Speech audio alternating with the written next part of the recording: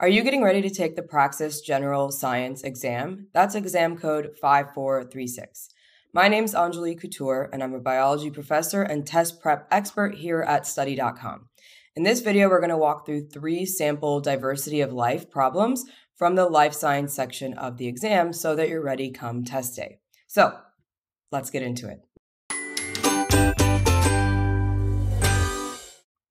All right, so let's start with our first question. It reads Which of the following processes would most likely occur if a plant is in a dark environment for an extended period of time? So, when we're thinking about this problem, we need to think about photosynthesis because a plant in the dark is not going to be in ideal conditions. Why? Because in order for a plant to survive, it needs to undergo photosynthesis to make the food that it needs to survive. And in the dark, it's missing one of the key components of photosynthesis, which is light. So let me write out the equation just so we can remember it and think about it.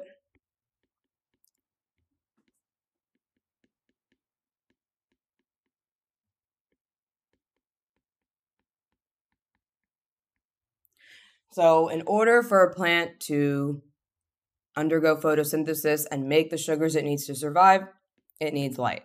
In a dark environment, it doesn't have that, so photosynthesis is definitely going to be impacted. So, knowing that, let's go through our answer choices. A says the rate of photosynthesis would increase, promoting growth. Now, we know that isn't true because the rate of photosynthesis would decrease.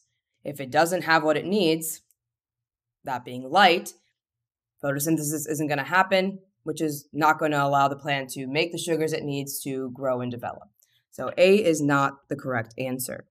B, on the other hand, is the correct answer. The rate of photosynthesis would decrease, stunting growth.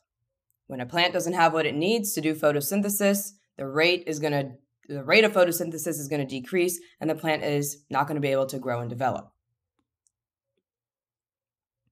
So B is the right answer, but let's keep reading.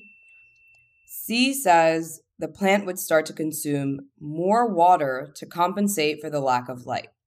Now, water is definitely one of the requirements for photosynthesis, but during the light reactions, light is used to split water in order to I mean, form oxygen, yes, but in order to get those electrons moving and get them onto our electron carriers. So, consuming more water isn't going to help compensate for the lack of light. We need the light because the light is our source of energy. So, consuming more water isn't going to do anything. So, the plant is not going to do that because it doesn't actually compensate for the lack of light.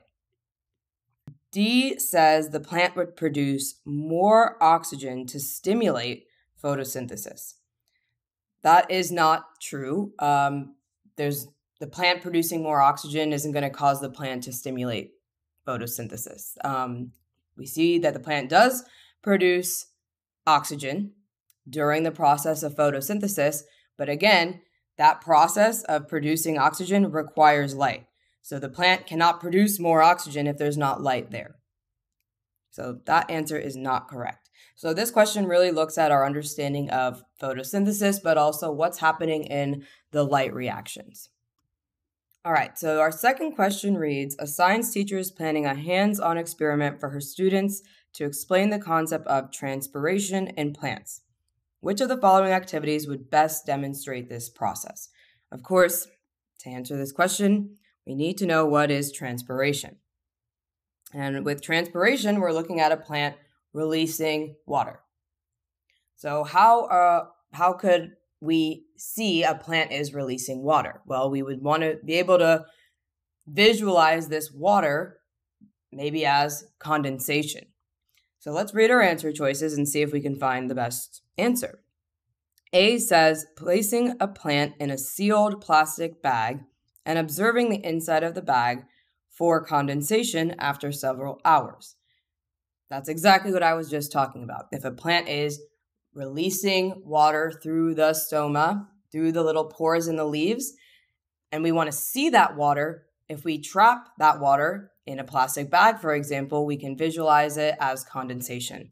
So A sounds A sounds like the best answer to me. But let's keep reading just to make sure.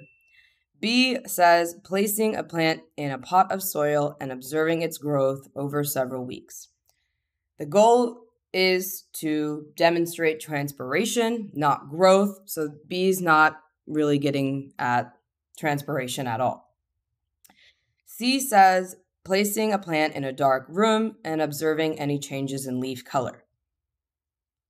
While this is cool, it's not dealing with transpiration at all. It's really more so looking at the impact of light or no light on a plant. So that is not looking at transpiration.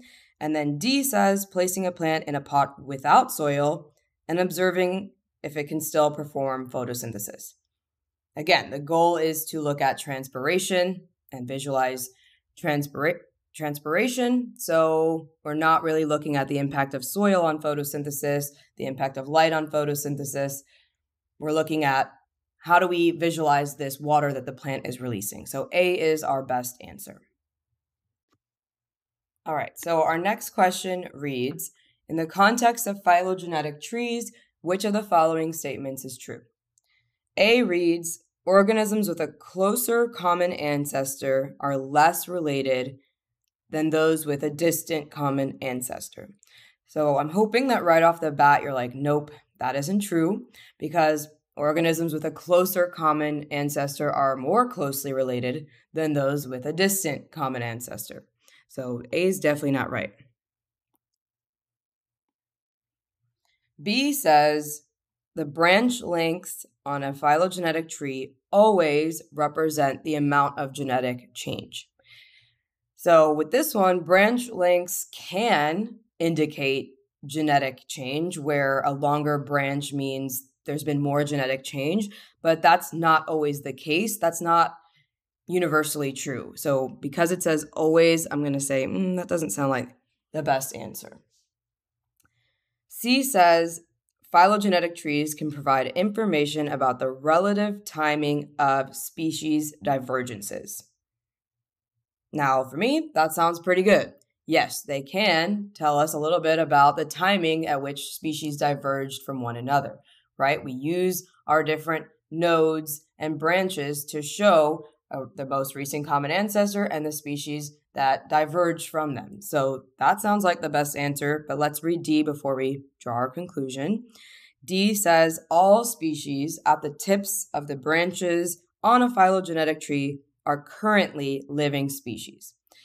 So with this one, not all species at the tip are currently living. The, a phylogenetic tree can include living and extinct species. So it could be, depending on the you know phylogenetic tree that we're looking at, it could be that there are extinct species at the tips of the phylogenetic tree. So that's not always true either. So our best answer is C. Phylogenetic trees can provide information about the relative timing of species divergences. I hope this was helpful, and if you're looking for more ways to study, you can check out our other videos here on YouTube and make your way over to study.com to check out our Praxis test prep courses. As a study.com member, you get full access to hundreds of practice problems like the ones we did today, plus targeted instruction, and test taking strategies to help you do as well as possible on exam day. Finally, we want to hear from you, so if you found this video helpful, please like and subscribe, and let us know down below in the comments if there's other topics that you want us to cover. Until next time, good luck and happy studying!